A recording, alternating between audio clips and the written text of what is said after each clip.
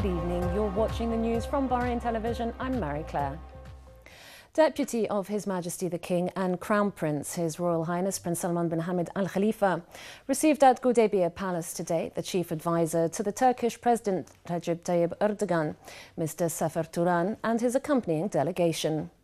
His Royal Highness said the directives of His Majesty the King to enhance cooperation with Turkey comes in line with the Kingdom's care for the outstanding bilateral relations in all fields and in appreciation to the historic stature of Turkey as vital regional model in development and economic fields. The Deputy of His Majesty the King noted the importance of recent leadership meetings, including His Majesty the King's visit to Turkey, in addition to exchanged visits at all levels. He commended the deep rooted relations between the two countries and Turkey's supportive stance to the kingdom, confirming the importance of further enhancing joint cooperation. His Royal Highness highlighted the shared economic opportunities and the necessity to activate the agreements that have been signed between the two sides to serve both countries and their people. He pointed out that the historic bilateral relations contributed in unifying the shared vision in regards to issues of common concern that have proven the two countries' keenness to reinforce joint cooperation and maintain regional security and stability. For his part, the chief advisor to the Turkish president expressed thanks and appreciation to His Royal Highness Deputy of His Majesty the King for his interest in developing Bahraini Turkish relations and supporting joint cooperation so as to achieve progress and prosperity for both countries.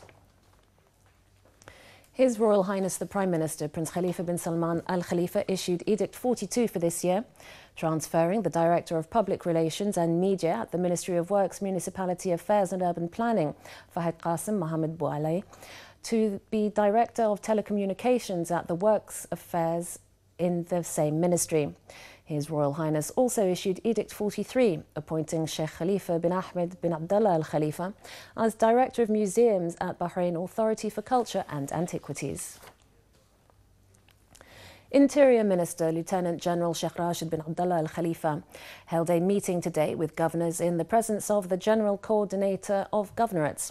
At the outset, the Interior Minister lauded the level of cooperation between the ministry and governorates who play a key role in learning about the requirements of the public and working to fulfil them. In discussing issues related to governorate affairs and projects implemented, the Interior Minister directed to form a security committee at each governorate to be headed by the governor and with the membership of the Deputy Governor, General Director of the Police District, representatives from the General Directorate of Civil Defence, General Directorate of Criminal Investigation and Forensic Science, and General Directorate of Traffic. The committee shall be assigned to study security cases in governorates, coordinate related matters with concerned authorities, and propose ideas on projects to protect general order and security. The committee shall follow security situations and suggest security strategies for the governorate, in addition to contributing in the setting up of security plans and programmes. The committee shall also be responsible for enhancing security awareness and study district security issues to propose solutions. Each governor will refer periodic reports to the Interior Minister on the operations of the committee. The Interior Minister then asserted the importance of undertaking comprehensive security measures to protect and secure vital utilities and direct the condition of a study to regulate the working hours of shops within a general policy to protect people and their interests.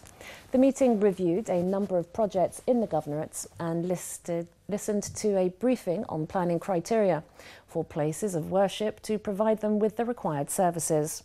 The meeting also discussed a report on removing deserted cars in which the minister directed to complete the process in coordination with police forces marking the 20th anniversary of the formation of governorates, the Interior Minister hailed the proposal to issue stamps depicting historical landmarks and remarkable achievements in Bahrain. The General Director of Criminal Investigation and Forensic Science then briefed the meeting on the number of security cases that have taken place in all governorates from 2007 to August of this year. At the end of the meeting, the Interior Minister asserted the importance of continuing the integrated work with all concerned authorities to promote community partnership in order to meet the aspirations of citizens and make them key partners in building dis their districts. He also thanked the governors for their hard work in serving the nation.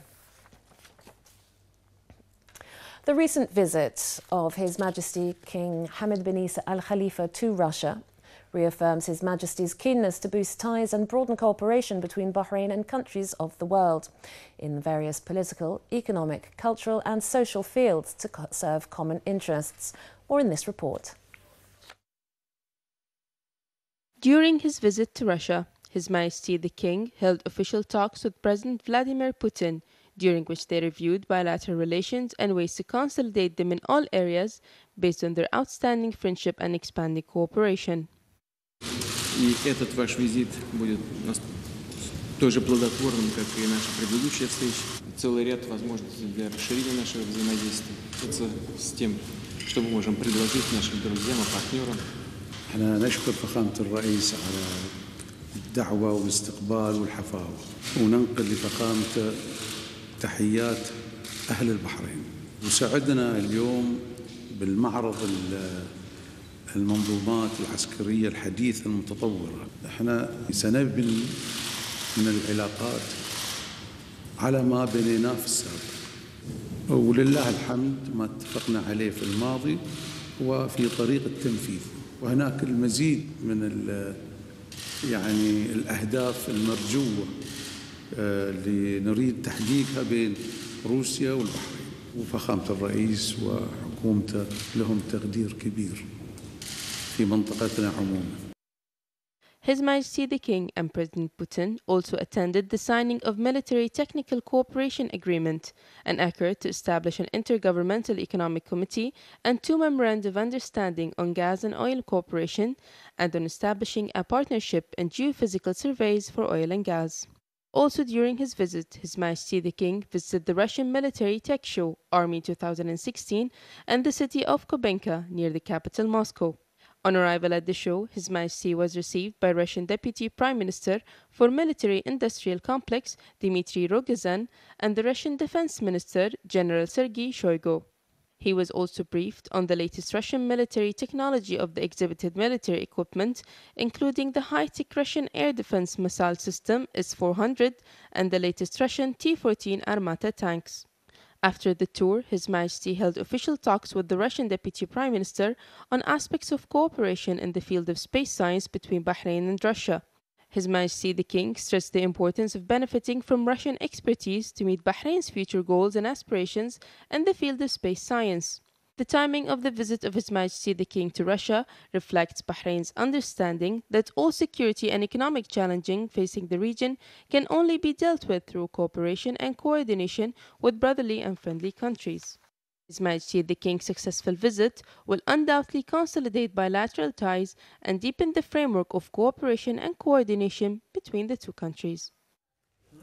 A high level delegation comprised of global health leaders and sponsors of the WHO was in Bahrain this week to evaluate the quality of health policies and services in the kingdom.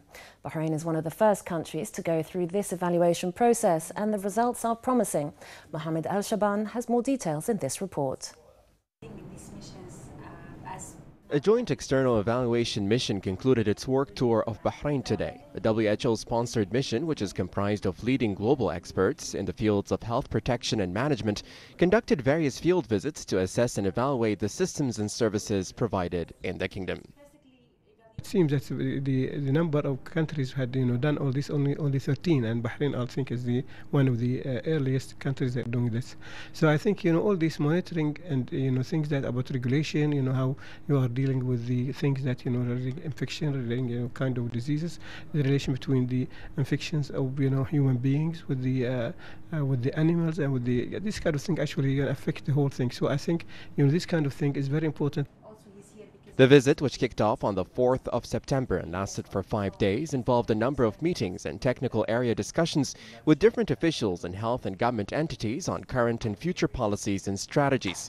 The 15 experts also toured the kingdom's facilities to take a closer look at the way of work and quality of services.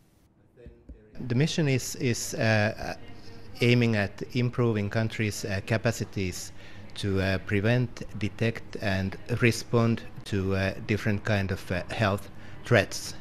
This is an international initiative. WHO has a strong role in it, but there are also uh, other organizations, including FAO, OIE, and uh, experts from uh, different countries.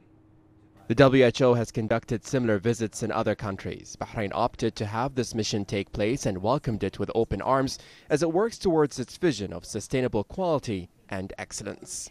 This uh, joint external evaluation has so far been conducted in 12 countries uh, globally, and uh, uh our understanding is that Bahrain has excellent capacities uh, in many of the uh, international health regulation areas.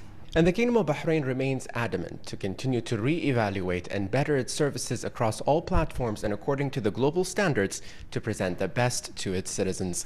Hamid Shaban, Bahrain Television News.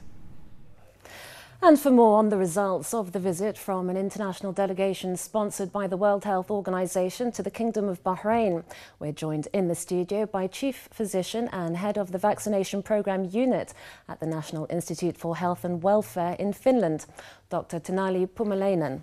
Good evening, Dr. Taneli. Good Thank evening. you for joining us. You're welcome. What, how is your evaluation of the developments of Bahrain's healthcare system?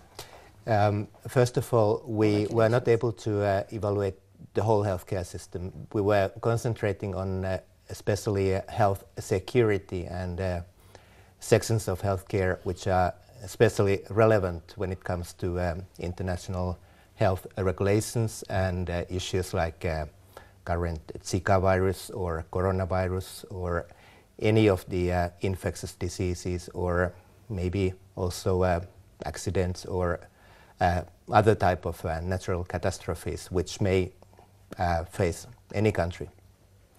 And where does Bahrain stand in comparison to the region and the world? Well, um, as was mentioned, uh, Bahrain is uh, the country number 13 that has gone through this uh, evaluation. And uh, we are not comparing countries, we are not making any ranking list. But I must say that the delegation was very impressed by, by your national capacities and uh, out of the uh, 19 dif different technical areas, Bahrain uh, achieved what we are calling as sustainable capacity, the highest possible uh, marks on, on, many of those areas. That's definitely good to know.